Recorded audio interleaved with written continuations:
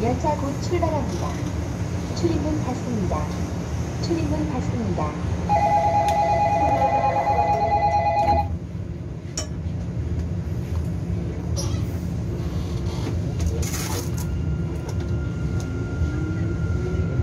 코로나19 당신과 함께 이겨왔습니다.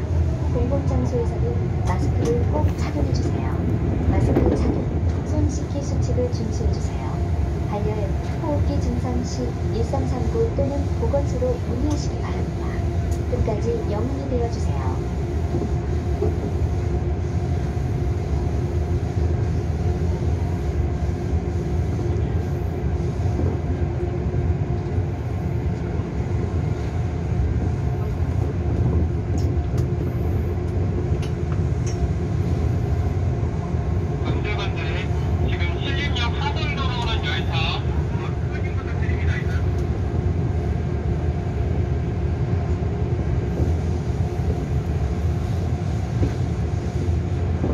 2번 역은 보라매, 보라매역입니다.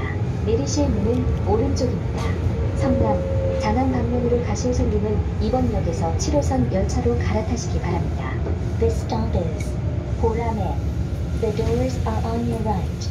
You can transfer to line number 7.